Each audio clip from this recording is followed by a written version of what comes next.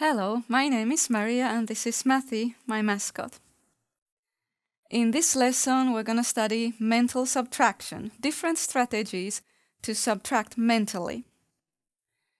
And my first one is here, you know 13 minus 8 because it's one of the basic subtraction facts. The answer is 5. Okay? But that becomes like a helping problem. We can use that to solve some others, such as 23 minus 8. Notice 13 minus 8. Think of it this way, that it goes to the previous 10 and is 5. This one, 23 minus 8, also will go down to the previous 10, which is just 110, and then it ends in 5. Okay? That's how I think about it personally. 93 minus 8 also will end in 5, but instead of 90, it will be the previous 10, 80 something. Okay?